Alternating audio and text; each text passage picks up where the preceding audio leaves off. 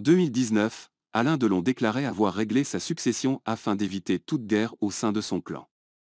On peut dire que c'est raté. Depuis quelques jours, ses trois enfants, Anthony, Anouchka et Alain Fabien, se déchirent dans les médias. L'aîné et son petit frère reprochent à leur sœur d'avoir non seulement caché des informations capitales sur la santé de leur père, mais également de manipuler ce dernier pour parvenir à ses fins.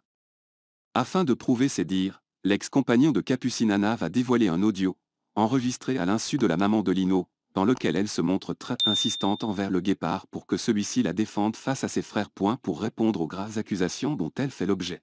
Anouchka Delon, dont la mère, Rosalie Van Bremed, a posté un message énigmatique sur les réseaux sociaux, s'est rendu dans le 20h de TF1.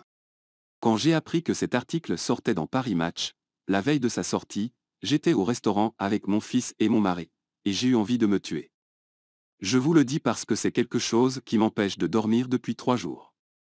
Je refuse qu'on me salisse comme ça, qu'on me traite de manipulatrice, de menteuse, ou de je ne sais quoi, a-t-elle notamment déclaré face à Anne-Claire Coudray. Ces stars qui soutiennent Anthony et à Fabien Delon à la lumière de cette nouvelle querelle familiale.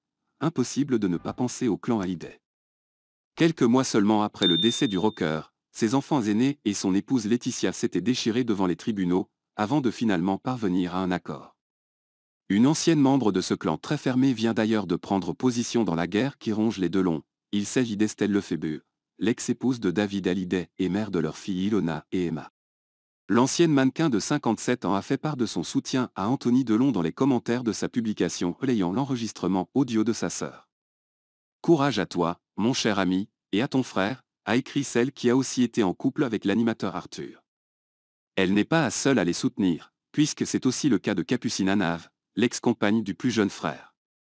Quant à Anouchka Delon, aucune personnalité ne s'est pour le moment exprimée en sa faveur.